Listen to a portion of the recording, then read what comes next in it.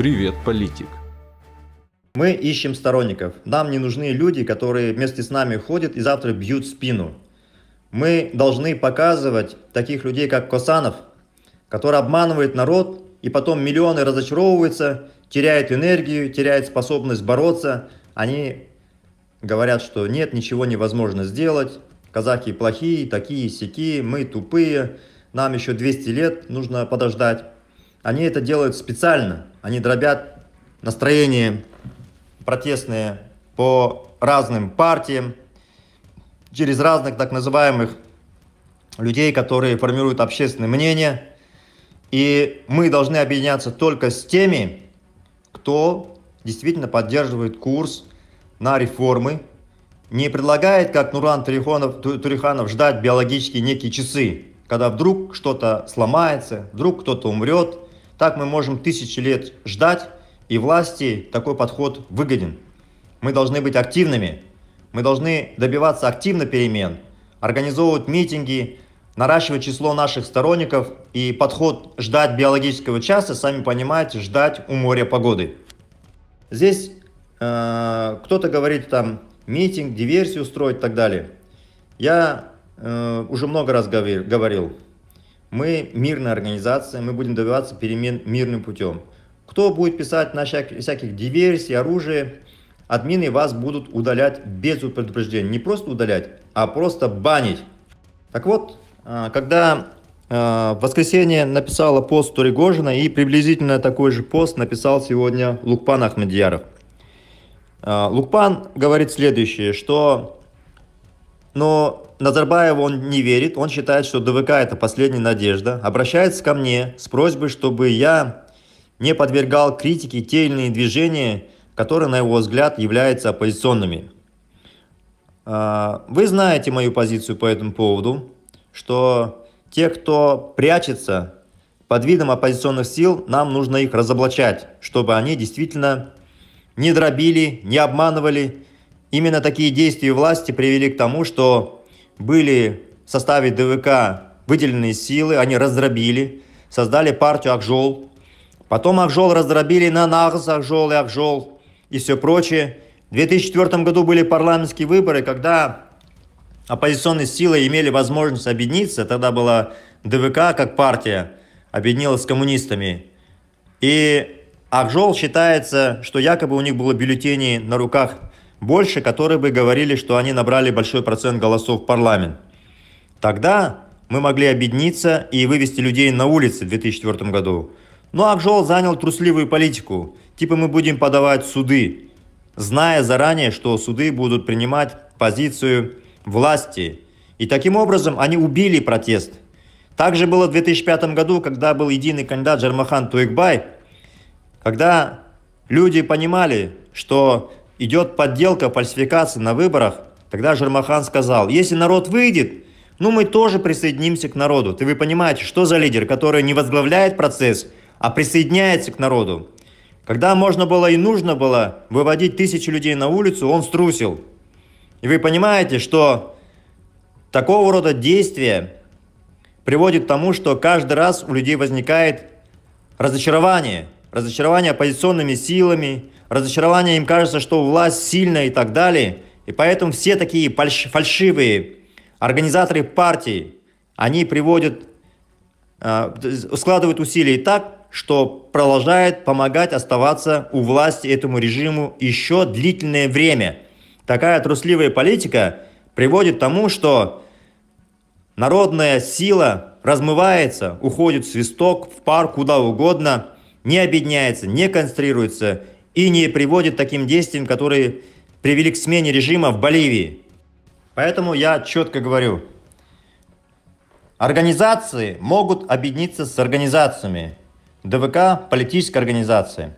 Мы можем объединиться с организацией, но в Казахстане таких организаций нет. Лица физически могут объединяться с лицами, в ячейки, еще как-то. Когда кто-то говорит, давайте вы, ДВК, объединитесь с аккаунтом в YouTube Басе, я смеюсь. Басе там ведет одна журналистка Наташа Садыкова. И как может политическая организация объединиться с аккаунтом? У нас аккаунт в YouTube есть тоже свой, где 400, больше 450 тысяч подписчиков, 16-12, больше 250 тысяч подписчиков у меня а, в YouTube. И, конечно, люди просто не понимают. Нужно сравнивать яблоко с яблоком, грушу с грушей, организацию с организацией, людей с людьми. Поэтому мы, как организация, можем объединиться с другой организацией, если она есть, если у нее действительно есть тысячи сторонников, но сейчас надо смотреть правде в лицо. Нет в Казахстане другой политической организации, которая объединяет вокруг себя тысячи сторонников. Нет в Казахстане ни одной политической силы, когда, когда она объявляет о проведении митингов, чтобы на уши вставала вся полиция, закрывались торговые центры, блокировались улицы. Нет такой организации, которая обладает таким влиянием. Я не говорю, что у нас монополия, этого и не будет, это плохо. Но я говорю реальность. Нам сейчас, на данный момент, как организация, объединяться не с кем. И если есть какие-то физические лица, которые являются противником режима, пожалуйста, пусть они создают ячейку, пусть выходят на штаб, пусть начинают действовать вместе с нами. Наши двери открыты. Открыты перед теми, кто действительно является противником режима, который готов бороться с этим режимом, выходить на улицы, организовывать митинги, создавать ячейки, участвовать в реальной политической борьбе, а не просто имитации, как занимается Уян Казахстан, так называемый, который Такаев нахваливает, Ертызбаев нахваливает. Они даже за рубежом в Европейском парламенте говорят, что есть такое движение. Оян, вы понимаете, да? Где вы видели, чтобы власть рекламировала и продвигала своего оппонента? Такого не бывает. Это вам прямо показывает, что это Оян Казахстан провластная структура. А все красивые слова, такие же, как бы у нас, похожие, это просто слова. Вы слушайте Назарбаева, он говорит, в Казахстане демократия, мы построим демократическую страну, все будет круто. Вы ему верите? Нет, это ложь. То же самое говорит Токаев. И вся эта структура воен Казахстан из их лживой шайки. То же самое по партии ДПК так называемой. Где был Мамай в сентябре, где был он в июле, Взял, вот проснулся, мы все знаем, что сейчас будет объявлен досрочные парламентские выборы. Я знаю лично и Мамая, и Дуванова, и Жукеева. Знаешь, Жукеев просто ставленник Ахарды. Признаков там миллион. Их можно долго рассказывать. Я думаю, нет смысла рассказывать. Я по этому поводу проводил специальные эфиры.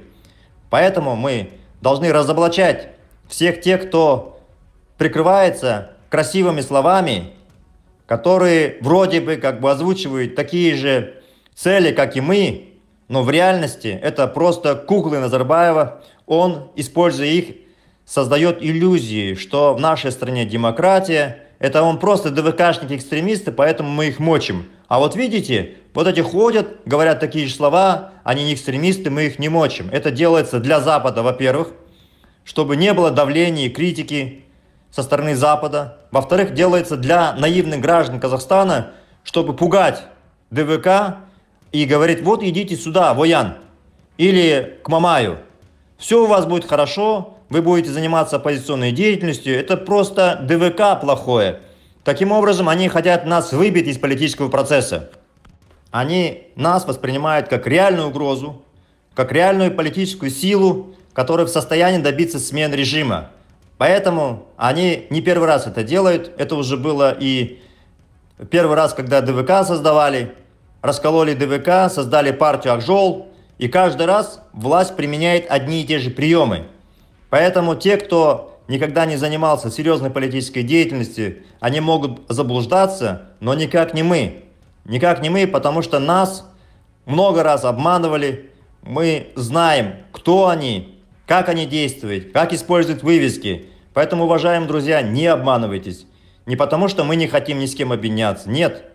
Потому что те, кого называют оппозицией, это не оппозиция, это куклы власти. Как вчера Косанов изображал, что он оппозиция, месяц прошел, как он спекся. Месяц. Но в течение месяца лично я подвергался массированной критике со стороны сотен тысяч людей, которые говорили, мы пойдем голосовать за Касанова.